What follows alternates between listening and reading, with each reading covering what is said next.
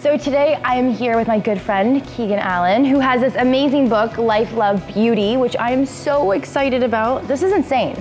How and when and why did you come up with this book? The concept of it came to me because of these elements, life, love, beauty, that we all experience throughout our existence. My composition notebook, since I was around like 10 years old, 11 years old, I would take photos and then put them into a journal and then write about it and keep it.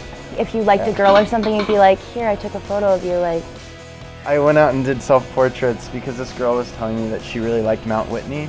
And so I went to the, climbed the base of Mount Whitney and took This is a- self-portraits um, and gave it to her. Oh my gosh, you can just see your little face. You're like, here I am. okay, now when we were doing our photo, what did we do that day? You picked just, me up. yeah, we just wanted to drive the roadster down the coast and there was no one around except this one guy on his One guy on the phone, like some agent or something, Yeah. and then the lifeguard was, which is just like perfectly driving in, which was amazing. You don't shoot it on an iPhone. I, I, I don't. I love the romantic nature of emulsification in film and waiting for the photo. So I like to shoot film. I have a few digital photos, but most of them are, you know, film and they're shot, you know, on different kinds of film. I have like LomoChrome, which is like a purple infrared film in here. So it's like you're buying the film that already has a like the filter on it. Yeah. When you're taking the photo, like what are you thinking? Like is it about composition? Is it about lighting for you when you're taking it? Like what makes you want to take the photo and pay a dollar to get it developed? Most of it's because I like to capture moments and experience them with people later. So I really wanted to share this experience. It was all just that idea to step into the photo and experience with your own life, your maybe your retrospect of your childhood. Half of the book exists as it is right now, and then the other half is the interaction that people will have with it. Being able to open up to any page and kind of experience uh, their own way of interpretation, Right. but also hearing from into a box of glowing romantic slides. How old were you when you got your first camera? I was 10 years old and my dad let me borrow his Leica. This is the first photo I ever took by myself. And if you look, it's like kind Oh, of cool. like a little bit soft and um, and like silhouetted in certain ways and like. Because I was like a kid, you know, and there were little fireflies flying in and out of the lens, so the light meter was bouncing around, and I was sopping wet because it was a heat wave, and I would go in. This is before cell phones or any technology, Right. so I could just jump in the shower with all my clothes on Right. and like you know ice myself up because it was so hot and then put the camera back on and ran back outside and then wiped the lens with my wet shirt so it has like this really soft effect and there were so many elements that composed the first photo that I ever took and I didn't appreciate it obviously at the time but looking back and kind of remembering and mm-hmm. reading what I had written was was interesting.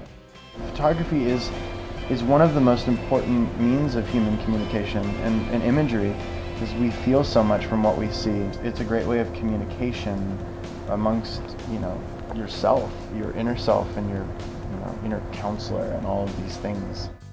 I see a lot of photos of the fans. Is that something that you like to do when you go to different places and stuff? Yeah, because they get so uh, they get so emotional. And they love you know they love getting their photos taken too. It's kind of this strong energy between us when I take it.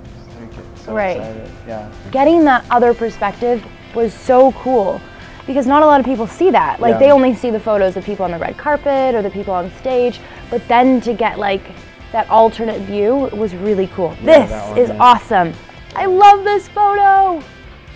Is there a place that you have in your mind that you haven't been to yet that you mm-hmm. would want to go to? The? Tepui is in Mount Roraima. There are mountains above the clouds. It almost looks like something out of a science fiction world. I actually want to fly my own plane over them and then take photos from the plane. It would be so cool. Wait till you see it.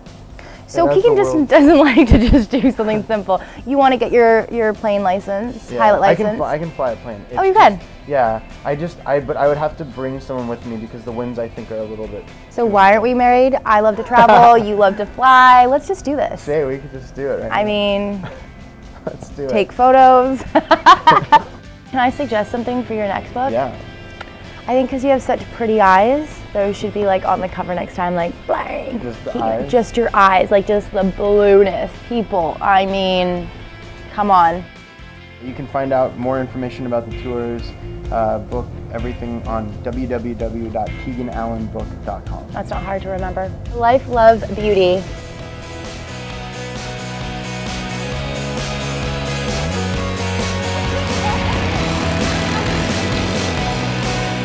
There you guys have it, my exclusive sneak peek with Keegan's new book, Life, Love, Beauty, on stands February 3rd. Be sure to check it out. And also let me know who you would like me to Barbara Walters interview style next time. Be sure to subscribe and uh, yeah, see you guys later.